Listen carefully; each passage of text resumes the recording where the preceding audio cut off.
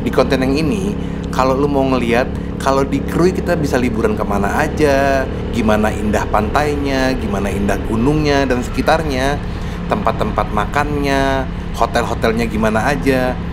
Nah lu harus kudu pantengin konten yang ini.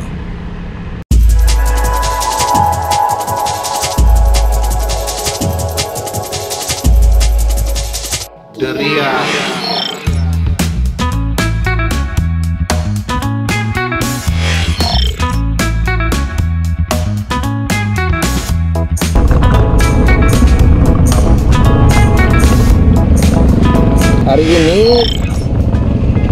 hari kedua di Krui kita pada mau jalan-jalan nih ke tempat-tempat wisata tapi yang santai-santai aja sih yang lebih laki-laki bukan yang umum kayak ibu-ibu gitu.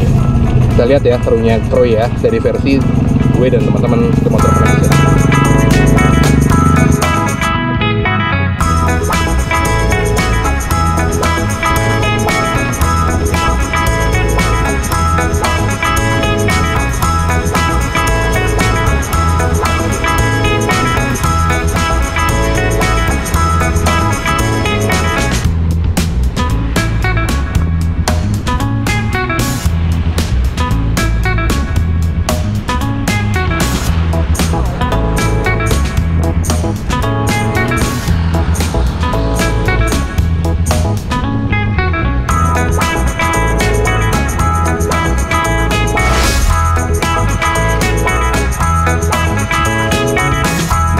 ini kami sudah melakukan perjalanan ke tempat wisata pertama. Tujuannya namanya Batu Tihang. Sekitar 60 menit dari kota Krui. Seru nih lewatin pantai, lewatin sawah, lewatin rumah-rumah adat, rumah tua, dan lewatin gunung-gunung, bukit-bukit kayak gini. Tikungannya asik, seksi, dan pemandangan laut tuh terhampar di pinggir sebelah kiri kita. Seru banget sih, alamnya sangat indah di sini ntar teman-teman em, udah bisa nyiapin spot-spot untuk foto. Hampir di setiap pinggir jalan ini bisa digunakan untuk foto-foto, untuk buat video. Seru banget. Ayo dong, ke sini makanya. Nih ketika udah mulai sampai ke daerah Batu Tihangnya. Di depan tuh ada rumah makan, kita pada mau makan dulu. Tapi gua nggak akan videoin ya.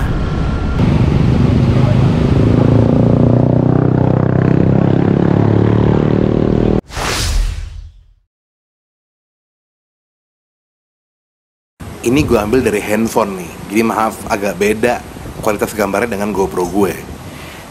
Ini tempat warung makan yang depannya pemandangannya pantai seperti ini, penuh batu-batu besar. Sebelah kirinya itu ada batu tihang. Dari restoran atau warung ini sih ke batu tihang itu tempat fotonya, spotnya paling cuman 10-15 menit, 10 menit malah nggak nyampe. Di sini kita pada makan-makan. Di sini tadi kita pada makan-makan nih, makan siang tepatnya sih, dan sekaligus sholat zuhur, termasuk asar kita jamak maupun kosor. Maklum musafir, seksi kan? Bayangin, lu bisa minum es teh manis sambil makan cumi atau makan indomie, tapi pemandangannya semewah ini. Pantai kelas dunia, indah ya.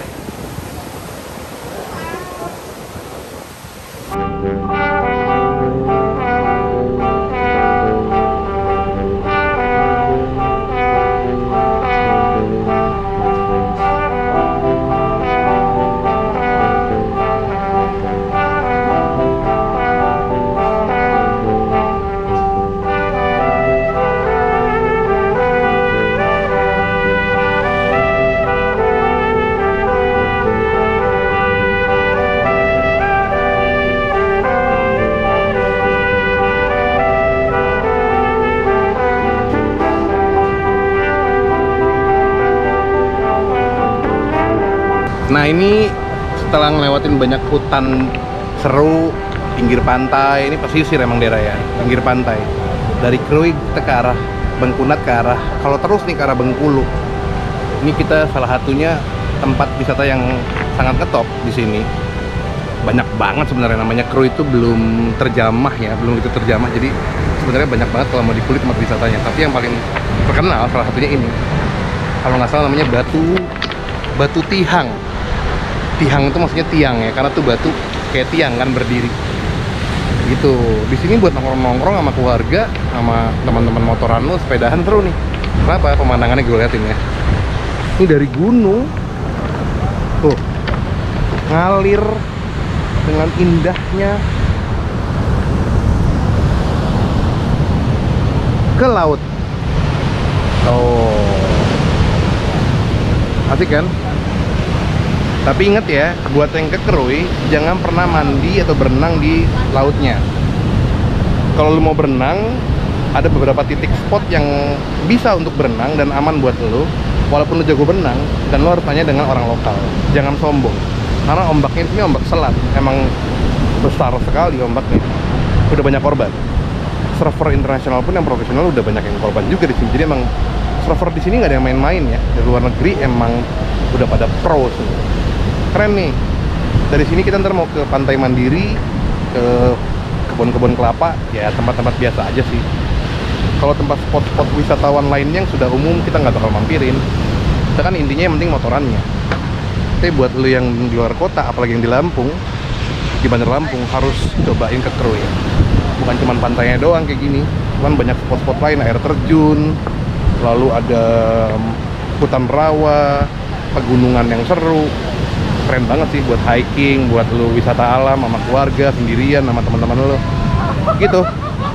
Sorry gue nggak pakai mic eksternal ya, jadi kalau suara gue jelek, sorry.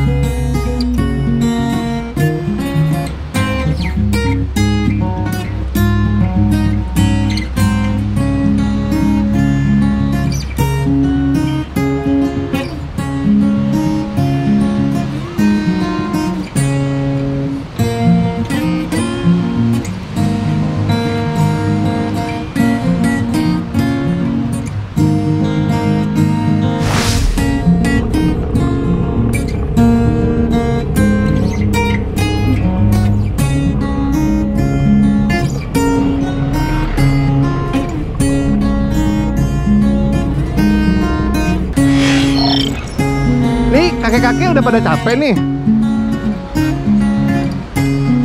Oke, lagi pada nempel koyo diem aja ini. Aduh, emang kalau dokumentasi berumur begini nih, nggak ada yang ngomong.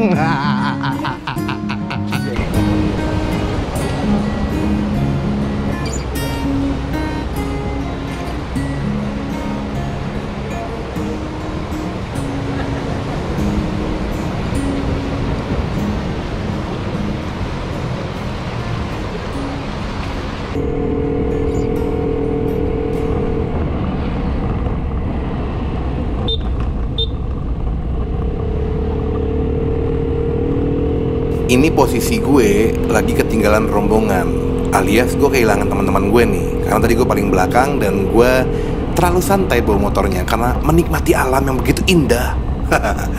Nih sambil nyari-nyari Gue mau nunjukin lu spot kuliner enak di Krui Di dekat Labuhan Jukung. Ini dia nih, mie ayam samudra.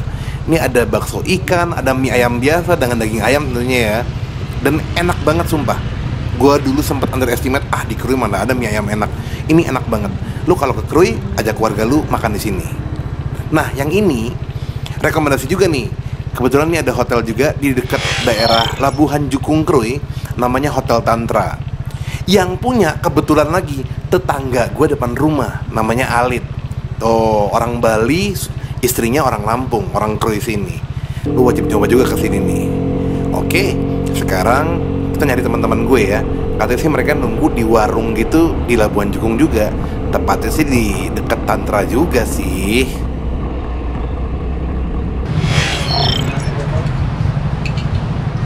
Ini satu lagi satu lagi. Mas, ini berapa? Tiga biji? Nah, ini nambah apa satu porsi? Yang baru ini baru kan? Baru ini baru Saya tiga biji aja, Mas. Enak dua kali ngambil jatah mama. nambah bang sedikit makan siangnya dia tadi. Ah, mati. Masih Pol.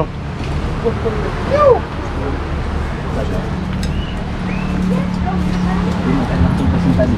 Ini dipanggil. Wah ini. Oh, Dia nganterin.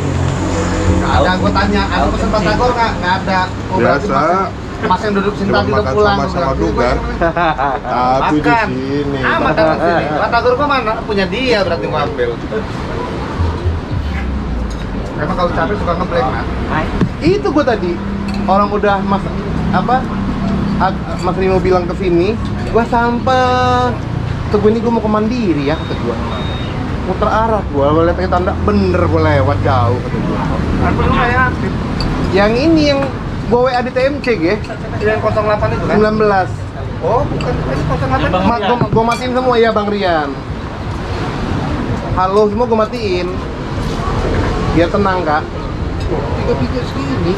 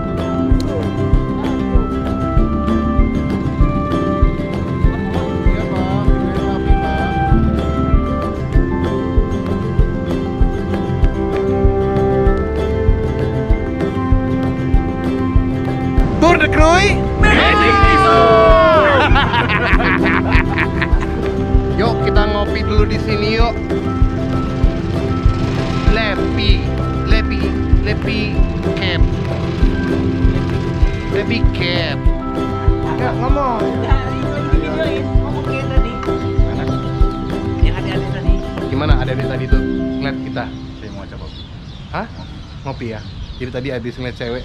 Hei, Nah, ini tempat terakhir tempat wisata yang terkenal juga di Krui namanya Pantai Mandiri. Kelebihannya pantai ini begini. Ombaknya besar, lalu pasir pantainya lebar banget. Dan putih ya. Tuh. Itu dia tuh. Dan ini sepanjang sampai sana tuh Pantai Mandiri. Bagus. Lu bisa motoran. Kalau ini bersih, ini kayak Bali dibersihin sama pemerintah daerahnya, wah cakep banget sih. Cuman wajar lah ya, Kru ini kabupaten baru, jadi suatu saat pasti bakal bagus seperti Bali pemerintahannya juga. Kita doain ya, buat teman-teman yang di Kru juga semangat ya untuk gedein kabupatennya dan pantai-pantainya yang indah ini. Nah inilah pantai mandiri sekali lagi teman-teman. Em, udah itu kita mau pulang nanti kita lagi nunggu sunset nih. Kita pulang mau makan malam nanti gua closing di hotel Mios lagi ya. Nggak banyak sih yang bisa gua ceritain lalu gua nggak kayak vlogger-vlogger wisata lain yang ke mana-mana ngobrol gitu. Gua agak-agak satu mau nikmatin liburan gua kedua gua bukan youtuber kayak begitu sih nggak sejago itu gua masih bego kali. Dan agak malu-malu juga sih gua dengan teman-teman gua jadi katain cie youtuber. Konten kreator lah ya. Kan konten gue selalu berbagi ya bukan pamer-pameran nah inilah pantai Krui. Orang Bandar Lampung aja jarang ke sini. Karena 7 jam jauh. Lewat gunung lewat hutan. Tapi buat gue sih sebenarnya harusnya orang Bandar Lampung sendiri dan orang Lampung khususnya dari kabupaten lain harus em, semangat harus berani ke sini harus coba liburan. Temen gue pater tuh. Woi ngapain lu mas? Mas? Mana itu dioi Ini turun kayaknya. aduh kacau. Ya gitu sih Em, lu juga yang di luar Lampung teman-teman gue undang nih ke Kerui lu ke Bandar Lampung tips gue tips gue lu nginap dulu di Bandar Lampung biar nggak capek dari kota lu. Besok paginya lu berangkat pagi-pagi sekali jam 6 lewat Kabupaten Pesawaran, Kabupaten Pringsewu, Kabupaten Tanggamus lalu masuk ke Kabupaten Pesisir Barat ini. 7 jam dari kota Bandar Lampung sekali lagi. Pakai mobil, pakai motor, jalanannya aspal dan beton. Jangan lu pikir ini kabupaten jauh tapi jalanannya jelek. Keren nih jalanannya. Jadi anak motor paling suka ke sini. Tracknya oke. Gitu aja. Ketemu lagi ntar di makan malam di Mios Bungalo. Gua bakal closing konten ini ya. Thank you udah nontonin konten ini. Semoga lu suka dan juga jadi tahu Krui pesisir barat Lampung. Hihi, ternyata gue males buat konten closingan di Mios Bungalo malam-malamnya kan ada keburu capek. Gue closing di sini aja ya, di pinggir laut. Ya teman-teman, gitulah kurang lebih perjalanan gue naik motor Vespa ke Krui, pesisir barat, Provinsi Lampung. 7 jam dari kota Bandar Lampung. Perjalanan darat ya. Jalanan aspalnya mantap dan juga lewat pemandangan dapat semua hutan, pantai, rumah-rumah adat, semua lo dapat. Gunung, bukit, lu wajib ke Krui ya jangan lupa di subscribe channel gue ini kalau emang lu suka dengan konten gue ini dan yang mau follow instagram gue boleh follow ya silakan semuanya sehat-sehat. Stay safe dari corona. Ayo ke Krui Lampung. Visit Lampung. Hihi